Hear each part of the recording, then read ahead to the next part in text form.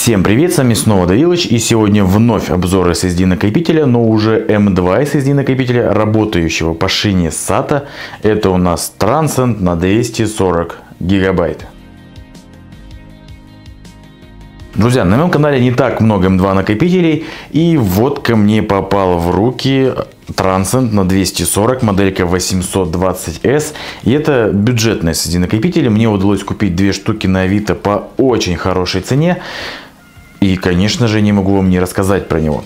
Что касается заявленных характеристик, то здесь у нас используется 3D NAND MLC память, контроллер от Silicon Motion 2258. Ну и я думаю, здесь не стоит ждать чего-то особенного, чего-то там сверхъестественно быстрого. В принципе, это обычный, простой, недорогой SSD. Но так как здесь контроллер от Silicon Motion, то значит он не очень себя покажет. По крайней мере, так показывает моя практика. Что касается скоростей, то производитель заявляет до 500 мегабайт в секунду на чтение, до 430 на запись. И это ну, обычное значение обычного бюджетного SSD накопителя. Что же касается ресурса данного SSD накопителя, то тут у нас значения разнятся. Везде на сайтах указано разные значения. Но, друзья, на сайте производителя черным по белому написано, что ресурс данного SSD объемом 240 гигабайт всего лишь 80 терабайт. И это очень мало для версии на 240. То есть мы с вами встречали уже там, например, та же ADATA SU750 на 256 гигабайт была с ресурсом 200 терабайт. Тут же всего 80. Опять же, это все равно много. И несмотря на гарантию 3 года, вы все равно вряд ли приблизитесь к этой цифре за время вашего использования. У меня SSD накопитель системный Samsung 860 EVO за полтора года израсходовал всего 5 терабайт.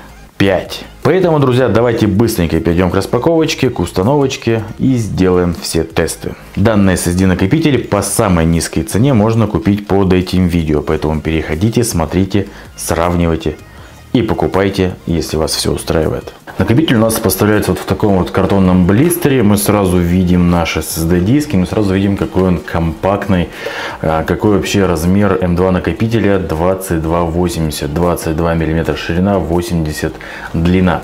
Итак, лицевая сторона Transcend 240 гигабайт, M2 SSD 820S, SATA 3, 6 гигабит в секунду. На обратную сторону 3 года гарантии, QR-код у нас на сайт производителя, моделька TS240G MTS 820S. Ну и, собственно, разная информация на разных языках. Итак, русский, русский, русский язык есть. Для более подробной информации переходите на сайт. Ну, отличная информация. Далее смотрим, что есть еще. Ну, собственно, где он произведен и так далее. Он у нас произведен. Он у нас произведен в Тайване. Все, друзья, ничего особенного, ничего прямо такого интересного. Давайте вскрывать и давайте пробовать вскрыть упаковку, как это нам велит производитель. То есть вот есть вот специальные такие строчки с вырезами, а, по которым мы, собственно, сможем и открыть нашу коробку. Как вы можете видеть, в принципе, все это дело работает, открывается. Не так, как, конечно, хотелось бы, не так хорошо, но главное есть, главное работает. А накопитель у нас дополнительно в пластиковом блистере. И давайте смотреть, что же у нас здесь есть еще. Здесь снова есть информация. Я так понимаю, это уже гарантийная информация. Есть русский язык, да, и краткая гарантия. Все, друзья, убираем в сторонку. Нам это больше не понадобится. Нас интересует именно наш SSD накопитель в M2 Form Factory. Итак, давайте же мы ее с вами откроем.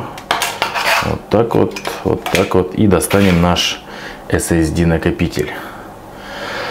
Не знаю, почему Transcend клеит наклейку вот таким вот образом. Непонятно мне это почему. Потому что все накопители устанавливаются на материнские платы вот в таком вот положении, вот так.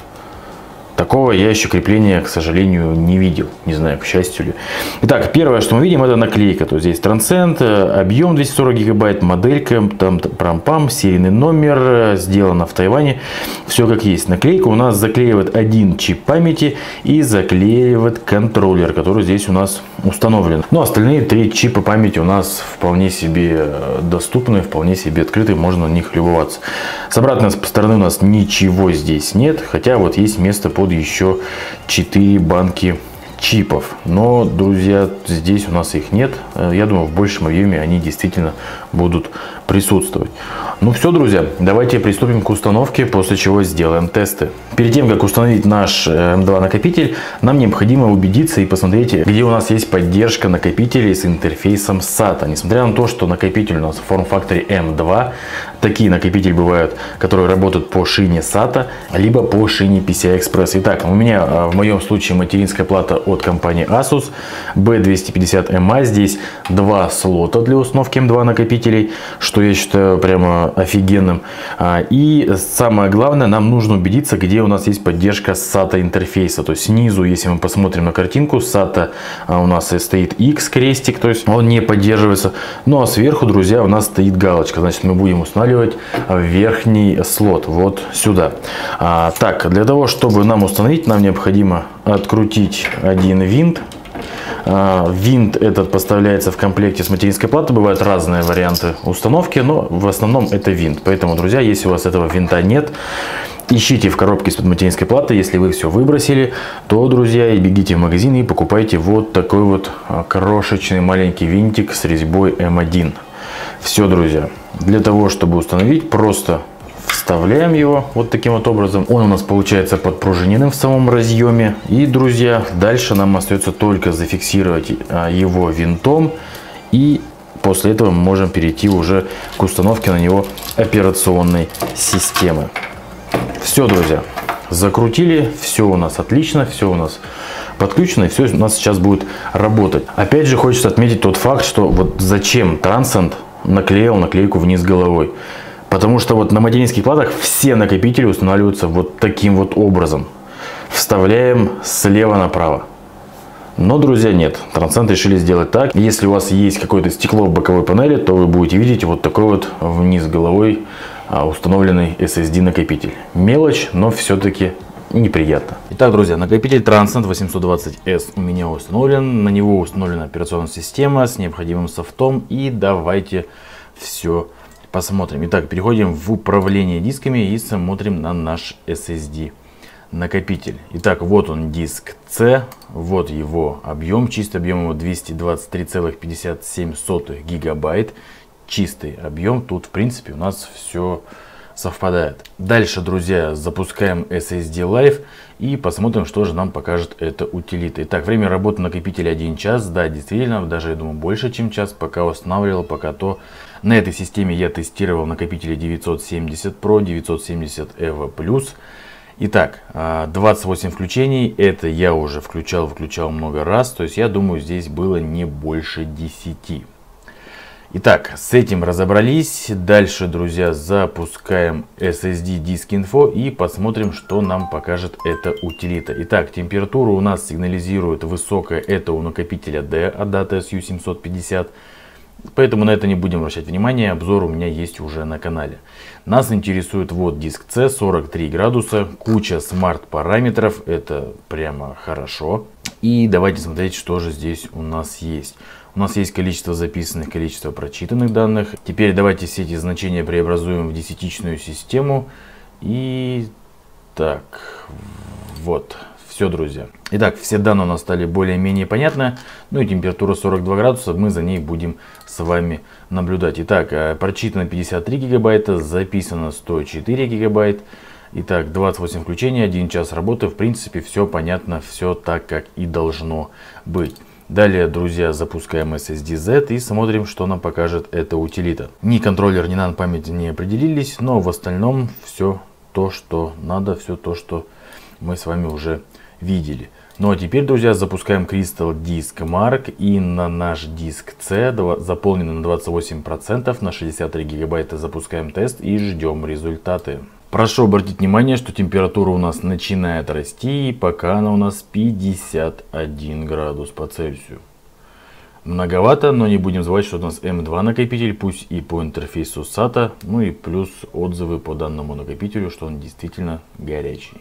Температура подросла еще немножко и уже 52 градуса. Итак, тесты у нас подошли к концу, и мы с вами видим хорошее значение 540 на чтение, 440 на запись, хотя производителем было заявлено до 500 на чтение и до 430 на запись. Везде повыше, и это, друзья, очень хорошо. Поэтому, друзья, давайте сейчас приступим к тесту AS SSD Benchmark. Посмотрим, что нам покажет эта утилита. Ну а после чего мы приступим к реальным тестам на запись. Ну а здесь, друзья, я не знаю, что такое произошло, но накопитель показывает себя очень плохо и набирает рекордное в моей практике 418 баллов.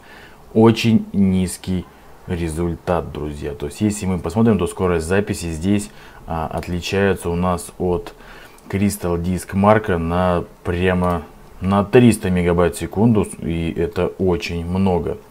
Сейчас давайте посмотрим, как ведет себя накопитель в различных приложениях. И здесь накопитель себя показывает очень плохо. Отмечу, что температура подросла до 54 градусов. Ну а в программах и играх накопитель себя показывает очень плохо. Во-первых, большая задержка, во-вторых, низкие скорости. Скорости обычных жестких дисков. Ну ладно, друзья, с этим мы завершаем. Давайте все наши утилиты сворачивать. Оставляем только Crystal Disk Info для того, чтобы мы могли наблюдать, а, что у нас с нашим накопителем. И теперь, друзья, будем копировать с SSD накопителя от даты SU750 папку render на наш SSD накопитель в новую папку. Пусть будет вот так вот. И давайте смотреть, что у нас будет по скоростям. Итак, стартует с отметки в 440 мегабайт в секунду. И сразу же, друзья, сразу же падает. Восстанавливается до 400. Снова, друзья, падает. Что-то как-то странно себя ведет SSD накопитель. Причем падает до очень маленьких значений. 15 мегабайт в секунду. 18. Очень странное явление, друзья. И, блин, ну, что-то тут не то. Либо накопитель у нас перегревается, сильно греется, из-за этого просадки скорости, опять же 46 градусов это не так много, да и те же 52 градуса тоже не сильно должны как-то влиять нашу скорость записи. То есть накопитель себя сейчас ведет неадекватно, скорость она падает. И очень странно, несмотря на то, что Crystal Disk Mark показал нам довольно-таки нормальное значение. То есть я почему-то думал, будет у данного SSD накопителя лучше история и лучшие результаты.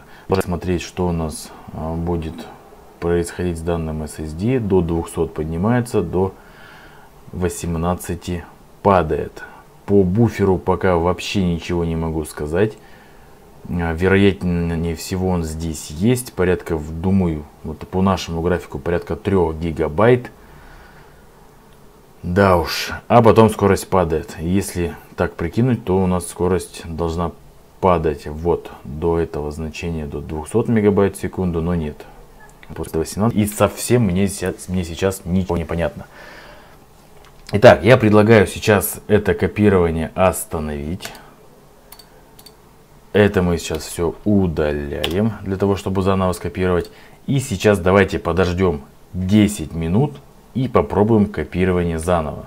Просто, возможно, утилитой Crystal Disk Mark буфер был заполнен, переполнен или еще что-то, и сейчас накопитель ведет себя неадекватно. То есть мы не видим целой картины в целом. Поэтому ждем 10 минут и продолжаем. Итак, друзья, прошло 10 минут. Я думаю, все успело восстановиться у накопителя. И давайте снова посмотрим, что с нашим накопителем и что у нас по скоростям. Итак, начинает 400 и скорость падает до 20 гигабайт в секунду. Снова поднимается до 200 и снова падает до очень низких значений 17 мегабайт в секунду. Это очень мало.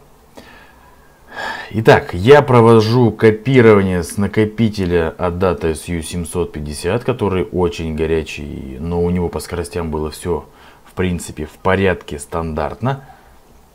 Но то, что происходит сейчас, это, конечно, жесть. То есть, э, как накопитель себя ведет, нестабильно, скорость ниже. Очень, друзья, ждать нет смысла, потому что ну, всегда будет у нас такая картина. Ну что, друзья, накопитель, я даже не знаю, что про него сказать. Хорошего точно ничего. Ну а все плохое вы сами сейчас увидели.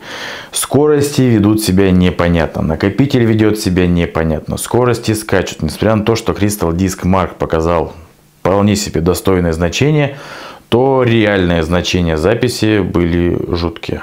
Это непонятно. Стартует с 400 и падает до 18, поднимается до 100, падает до 18, поднимается до 200, снова падает и так на всем протяжении. Ну и лично мое мнение, это плохо, друзья. И непонятно, как себя накопитель покажет спустя месяц, полгода и тем более год, несмотря на трехлетнюю гарантию. Поэтому, друзья, Данные SSD накопители стоит покупать лишь в одном единственном случае, если вам удастся его купить по очень низкой цене, как, например, купил я.